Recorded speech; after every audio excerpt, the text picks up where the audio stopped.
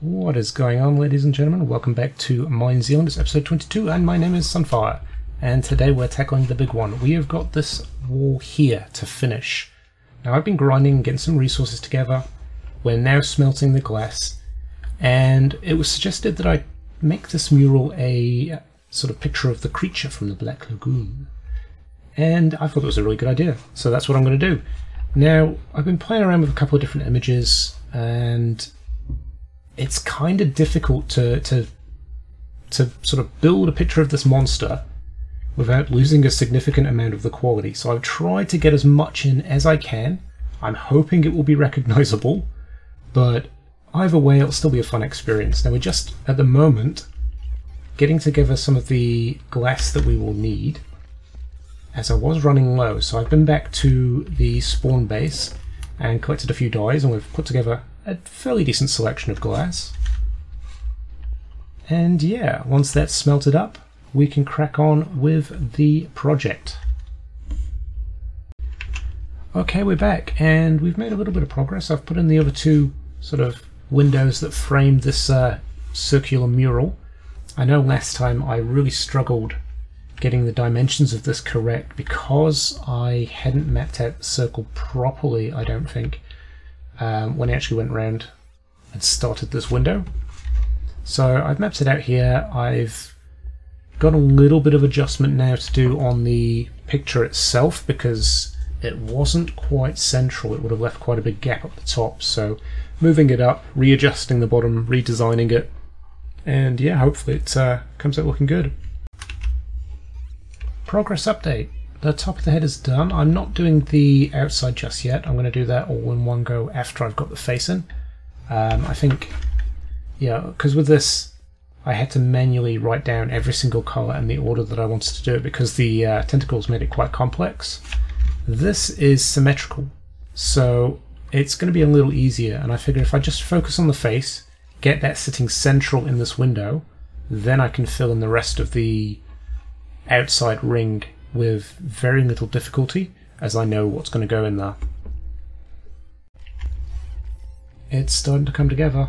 You can kind of see the gills coming in there and the eyes. And it's coming out better than I expected. I, I was a little worried the quality would be lost as I started to put this up. But yeah, it's coming out real nice. And I've got to admit, it is nice to be back in Java. Uh, as much as I do like what I'm doing in Craftaway, and the builds that I have planned are pretty big, so I'm looking forward to those.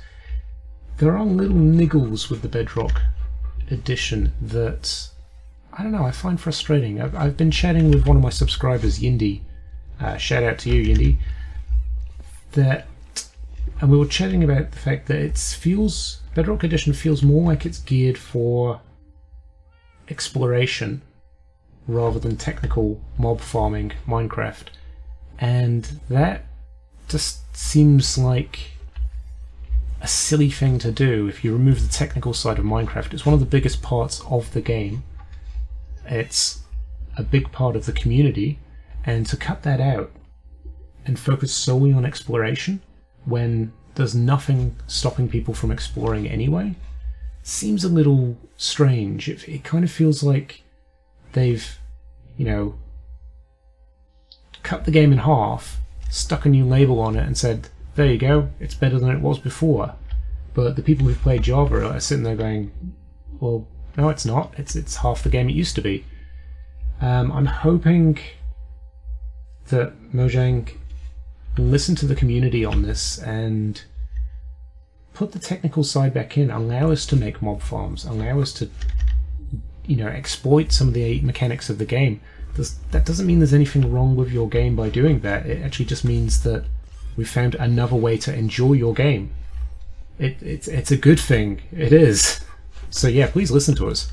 We definitely like to have uh, mob farming back in and a bit more of the mechanics that make Java so spectacular transfer across to Bedrock. You know, there are features in Bedrock that I would like to see in Java too, and I imagine that will happen at some point.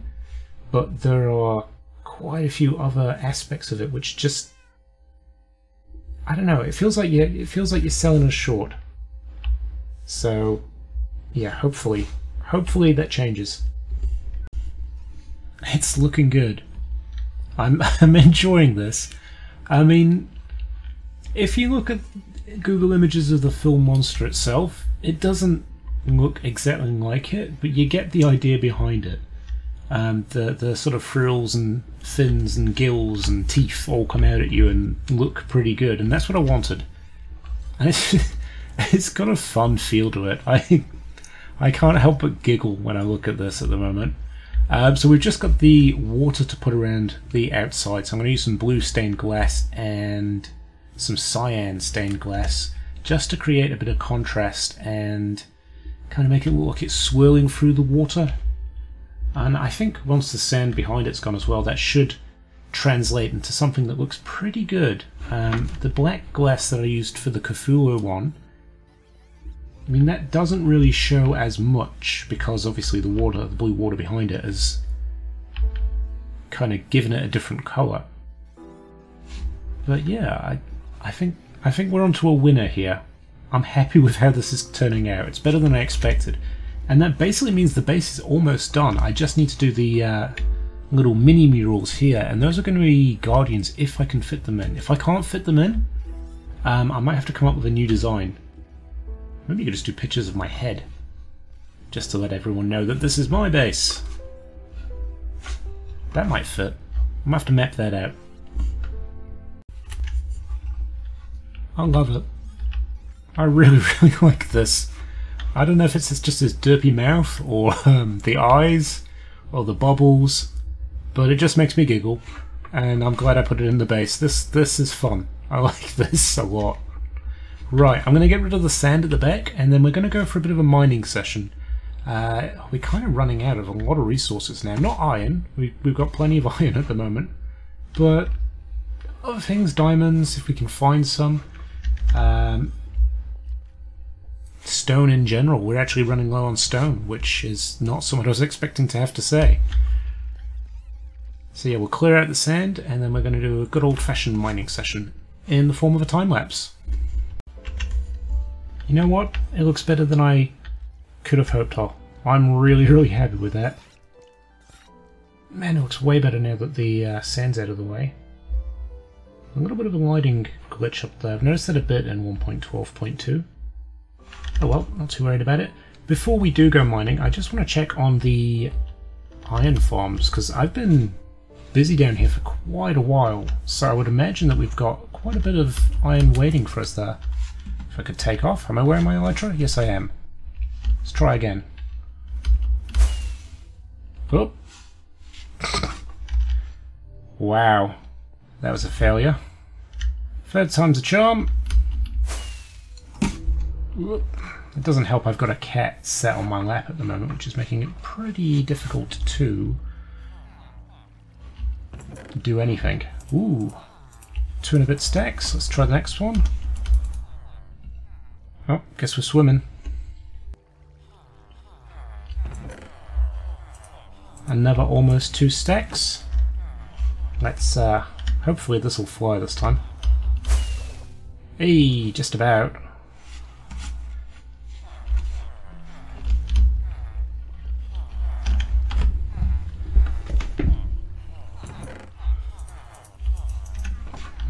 Another two stacks.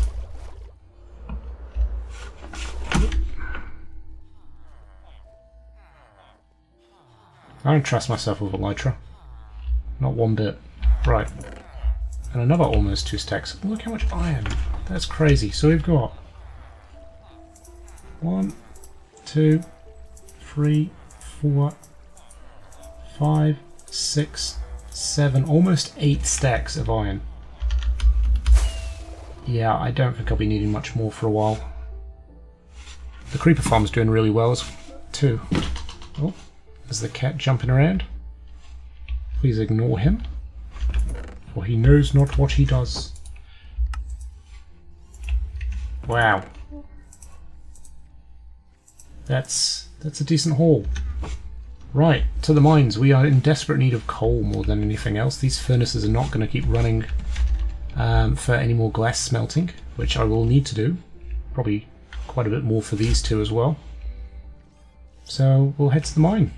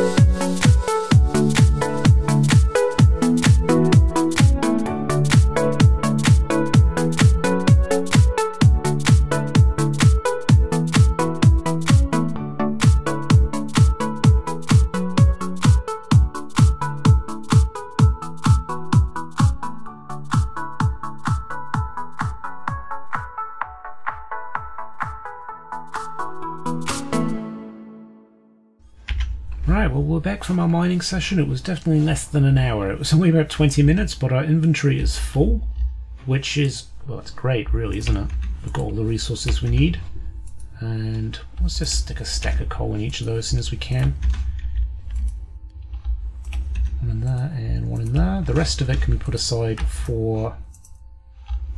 Well, I've got some gifts to give out, haven't I?